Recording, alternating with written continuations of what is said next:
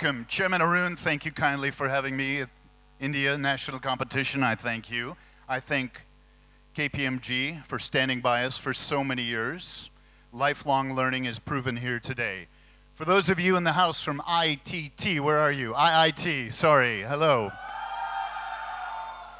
I like your house. This is amazing. About a week ago, DevDeep sends me a photo. It's Mark Zuckerberg standing here taking a photo going that way. And earlier, Arun said there's a little threat to this place called Silicon Valley. It's right here.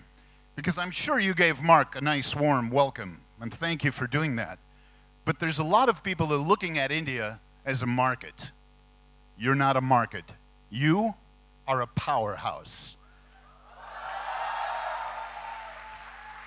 And this is your house.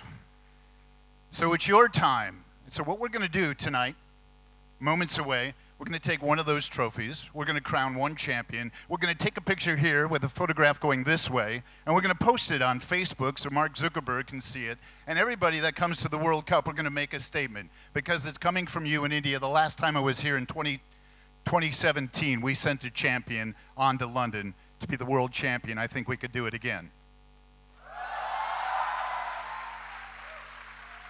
From what I saw here today, your projects stand up to the world, and you better be ready for the world because they're looking at you and they're ready for you. When I think about the view of the world, it's amazing to me. When we look at the world from space, and we think about your projects crossing communities, campuses, borders, and countries, and linking with other friends and students, 72,000 strong throughout the world, not only in just 37 countries, but the projects and the work that you're doing is in over 160 countries at any one moment in time. The moment you sleep or wake up, 24 7, there's always an Enactus project at work for all of us, thanks to all of you. When you look at that Earth, you got to think about it. It's spinning 24 hours. It's traveling at 110 kilometers per hour around the sun. The entire universe is spinning. And when you look at us from space and you think about the projects that we do and where we do those projects in the community, that is our community. That is our world. In the very near future, the world will be populated by more Indians than anybody else. And I couldn't be prouder, and the world couldn't be better and you're proving it true. We are, in fact, a better world because of all of you. And I look at our partners like KPMG, and while government allows a 2%, I look at KPMG, they give the other 98% with lifelong learning. And when I think about all of you, you're not giving your 2%, you're giving 100%. You're giving 110%. It's amazing. I left New York just three days ago, I packed. I had a chance to take a nice shower. I turned on, the water came down. I got in my plane. I traveled from New York. I crossed the Atlantic six, seven hours later. Dark skies underneath, a big body of water. I came over Europe and then I came across the um, Mediterranean and then I finally had a chance to land here. I got to my hotel late at night. I turned on the shower. There was water. It was warm. It was comfortable and I woke up to meet some students from Chennai. Where are you? Are you still in the house? Are Chennai students somewhere? Way up there. That is a rookie league from Chennai.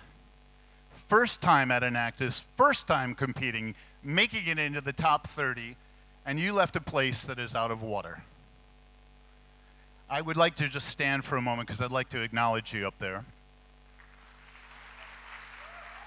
Please stand. And I want to make sure that you don't stand alone, that we stand for you. And that anytime I buy water or anybody buys water in the future, they're thinking about you. They're thinking about our oceans. They're thinking about the plastics. They're thinking about the problems. And they're thinking it more than just 2%.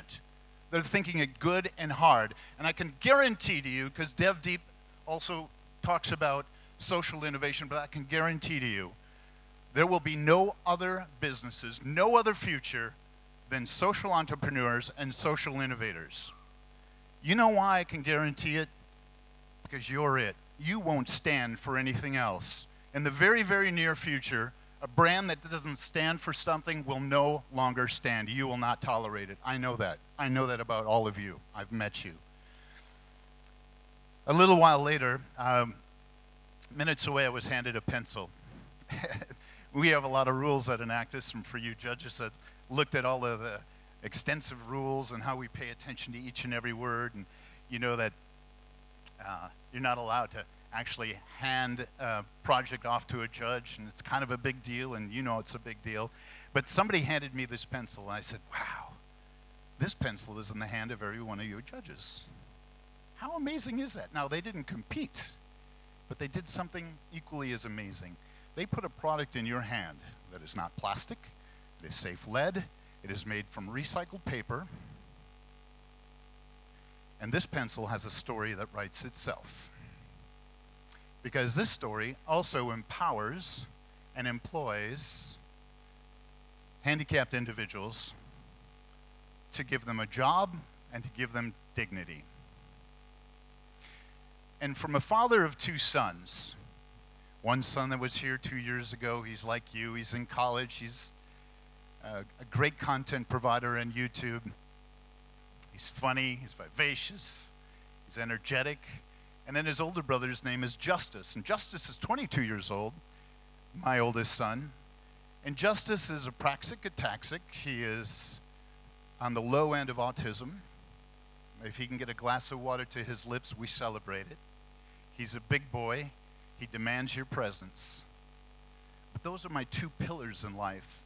Because I look at my son and what he carries, and my son Justice and who he is, and that gift that he brings to the world, the gift of being present.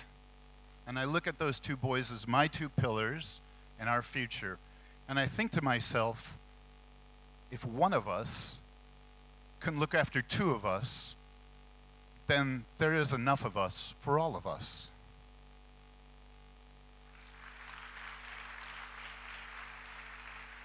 Marshall McLuhan, inspired by Buckminster Fuller, said, On planet Earth, there are no passengers, only crew. And that's all of you. And I couldn't be prouder to be amongst a crew like you because as we head into 2030 and we look at these goals, challenges, yes, Opportunities, of course.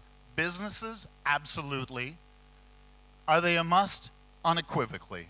Absolutely. When I think about Chennai and I think about water and I think about companies supporting us and the partners and the donors and everybody that we want to attract,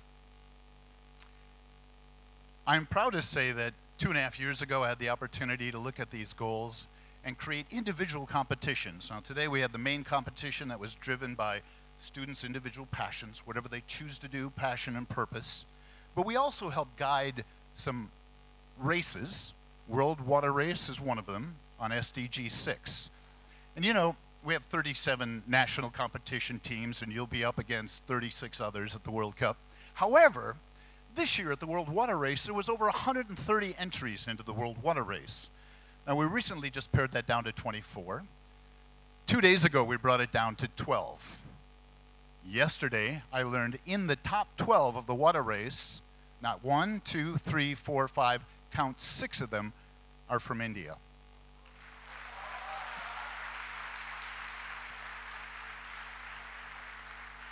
Like, what's going on here? What's in the water? It's fantastic. And I hope we stand with you.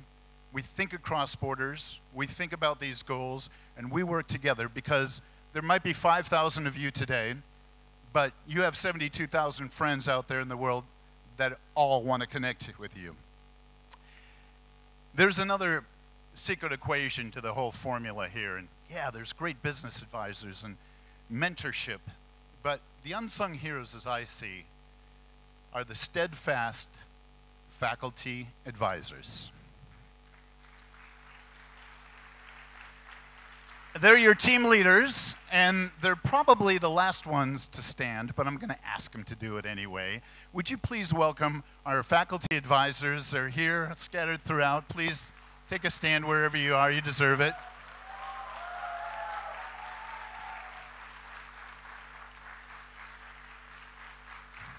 Thank you. Thank you. Thank you. We're grateful for your guidance. We're grateful. We know it's not an extra paycheck, we know it's extra time, and we are blessed to have you, all of you. Thank you so much. So it's one thing to think about that you're guiding students, and students are a small period of your, of your time, but once you pass through students, you become an alumni, and that's permanent. Like Devdeep said, you become an alumni, that's for life. And you have about a million plus friends out there. We have this little thing called Enactus Plus that we launched. How many of you uh, launched your projects on our platform? Awesome, awesome, awesome. And soon you can stay in it, and as alumni, you'll be welcome to stay in it and continue your projects. And another year from now, we'll invite all the alumni, and you'll be able to connect throughout out the world. I had a chance to meet four alumni just yesterday. Where are you? Come on up here. Would you? Do you mind? Come on up here. Give me a hand. They hadn't met until yes, yes, just yesterday. Four amazing alumni. Come on up here. Grab a mic over there. Grab a couple of mics. I appreciate it. Good. I want to say hello to you guys. And this is a really great chance for everybody to meet each other. And I, I don't want to make sure we don't escape the room, but come on out here, guys. You know, this guy right here, uh, two years ago, I met him in London. I called on you on a table, and you said it was your first time speaking. Is that possible? Check. Enactus. Yeah, we do that to alumni. It's a Hello. little trick we play. We only let the Is students actually talk. Hello. Uh, so yeah, uh, I met you in London two years back, and that story of mine was like I've never ever taken participation in any literary event ever in my life, in my school time. And my seniors took like the best out of me, brought me to the Enactus Nationals. Like we won, like we were in the top 12 of the water races. We were there. You were the one to handle me the mic, and I like presenting there my project, my team. Everything felt like a dream, and it's still time the best achievement I think it is. You look like you were born with a mic. Thank you so much. You also said you're not shy about grabbing a mic anymore, anymore thanks to what? So I think thanks to Enactus, to be very honest, um, e- even in school I was I used to participate in a couple of things, but I think I can give the soul the whole credit of what I am and who I am to Enactus. It has made me a better person, a better orator, and a much more confident person. And I think even my parents have noticed a different shine in me ever since I've started working with Enactus. So, academic advisors, business advisors, you never know when that's going to click and that change and when it happens in your life. Tell me about your first Enactus experience. Uh, so the first time I heard about Enactus, it was some students just uh, hanging posters and telling us about people uh, interacting with uh, trafficked women, and I was like, you can actually do that in the streets of Mumbai. Is it even safe? And I was just blown away by the fact that something like this even exists, and that was Enactus for me. That was the first introduction, and ever since then, my life just changed, and it's just been a brilliant journey. Oh, wait a minute, wait a minute, wait a minute. I'm not going to accept that. Come on, it can't be that special. There must be a million clubs that you can join on campus. Certainly, there's a lot of activities and things that you can join on campus. There has to be other things like Enactus. No, there is absolutely nothing like Enactus. As I was saying the other day, there's nothing that ticks all the boxes of uh, social, business, marketing, everything in one. There's nothing like Enactus It's out there. of both worlds, I feel. So there must be a lot of business clubs in all of your colleges and also a lot of social working societies. But Enactus is a perfect blend of these two and I think it makes you a much, much smarter person and you gain so much out of it and not just, I mean, knowledge, I mean, you can use it in your real world as well. Tell me about your first Enactus experience and what you're doing now. Hello. Uh, so my first Enactus experience was when we visited a community of farmers in right in Delhi. And once I went there, I was so shocked that myself living in Delhi for the last 18 or 19 years when I joined college, I've never been to such areas. I've never seen such communities. And it was just shocking for me to witness such lives. And I was so grateful that Enactus gave me an opportunity to enhance these, the lives of these communities. And uh, right Where do you work? Right now, I'm working at Bain as an analyst in the corporate finance service line. All right, so at Bain, you, you're, you're, you're looking at companies and evaluating companies. Is that true? And you're on the evaluation team? Yes, yes. And what do you evaluate those companies based on? So, uh, primarily, we evaluate companies in purely in terms of their financial returns to their shareholders. Financial returns. That's you today. Now, as you move up the chain quickly, because you will, and it's three, four years from now, and you're going to evaluate companies, and you're running the show. It's now Bain and you. How are you going to evaluate companies? So because of my such close association with Enactus, I would broaden the meaning of impact to just not economic impact, but to social impact as well. Because all these firms generate profits taking resources from the society, and it is just to give back to the society. That's like a warning shot to all companies out there. He's coming up, look out. Thank you for that. Uh, I want to hear a little bit about your, your skills because as I look at this pencil as an example, and the first thing that they said is, and, and we could all talk about this pencil and, and probably discourage the production knowing that it's 10, 20x the actual cost of another pencil. But I think about the story value of the pencil, and I also think about the time I never thought I'd pay more than 50 cents for a cup of coffee, but based on the story, um, it's amazing the stories that you put behind products. Can you share a couple of those um, stories that, that help create uh, greater value for, for your experience, greater value for your projects? So uh, probably I would share the story of uh, one of our projects. So uh, in, in our team in our first year, we were told to research about communities which we can help through, our, through the Enactus platform. And we came across the story of Jand the Thatheras of Jandiala Guru. And we, uh, to, to as students, it was so difficult for us that because the community was 10 hours away from Delhi, but Enactus as a platform gave us an opportunity to impact their lives. And I think that, that whatever Enactus has given me has helped me achieve so much in life that I'll always say that I have not given it back enough. The amount of things I've taken back from Enactus will always be greater in, in their share. Okay, so fantastic, right? All right, I feel like it's going to be a magic trick. Don't turn around and look at the screen. You have not seen what's on the screen. Tell me about some of the skills that you've picked up through your project-based experience. Tell me a little bit about some of those skills, please. Uh, so I think the first skill that I, enhanced was my leadership skill because do you just need to tell the skill or expand on it? Number seven. Yes, if this was a game show, you'd be uh, ringing in the buzzer right now. Thank right. you. Leadership skills, experiential learning. Tell me, tell me about some other skills that you've picked up.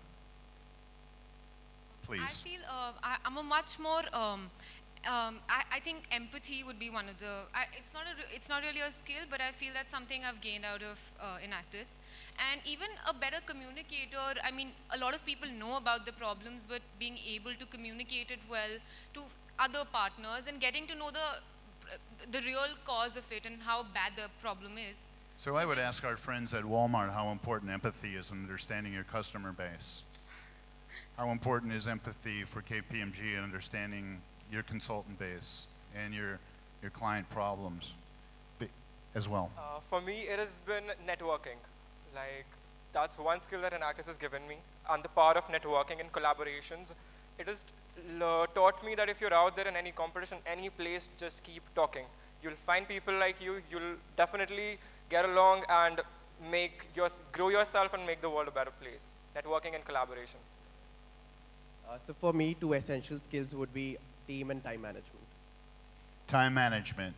Um, emotional intelligence linked to empathy, fair enough. Creativity, we saw lots of it today. Innovation, the seeds of creativity growing into innovation, growing into business principles, growing into sustainable business opportunities.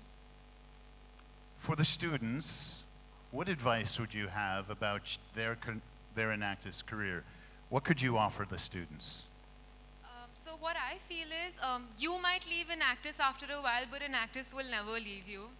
And that's why we're still here. I've been out of college, it's going to be two years soon. And I'm still here, and I was ready to come here in a split second. The minute I got to know that Enactus Nationals are happening in Delhi, there was no way I was not going to be here. And it's just that there's so many th new things happening every day. You get to know about something new every day. And I think it's just a great platform to be in, something which will always stick with you. One very short story I'd like to share what Enactus gave me. I was researching for a project on composting, and I got attached to it so much that uh, I really wanted to do something for composting. And meanwhile, when the project was launched, I graduated. So while going back, I'm from Punjab, uh, 300 miles from here. I started composting at my house. Uh, recently, I gave a lecture to Ludhiana residents where I told them how to compost at home. Apart from that, I've started a group in Ludhiana, Smart Citizens of Ludhiana, where we're 50 people. We do plantation drives, we do cleanliness drives, not only for the landfills, also for the Satluj River that's there. And that is the impact Enactus left on me. How cool is that? Advice for an Enactus students? Uh, if I start giving advice, it'll never go, it'll never stop. Uh, but a very quick note here, just remember that every time you go out to work, there are three people that you're working for. The first person you're working for is your beneficiary. The second person you're working for is the, uh, is the person who's going to buy the product or service that your beneficiary makes. And the third person who's going to gain out of this, and probably the most, is yourself. Because this experience, this learning, this knowledge, it's everything, and this is how you're going to grow. So these three, these three things you're, you're going to take, these three people that you're going to impact, this is it. So when you present your projects and the projects we saw today, you present the impact on those beneficiaries. You, pre you present direct impact and indirect impact. How many of you were impacted by Enactus in the Enactus experience? All of us. I believe all of us. How many of you were impacted by your Enactus experience? Where are you? Judges as well. That's a lot of impact. Thank you very, very much. Our alumni, passionate, amazing, beautiful, fantastic resources of the world. At this time, I'd love to have Devdeep uh, come and join. We have some things to people to recognize. We have some trophies to give away. We have some people to recognize, and we have to take that photo and send it to Mark Zuckerberg, and we post it on Facebook. We'll do that too. Okay. Thank you very much. Thank you. Give him a big round of applause. Thank you.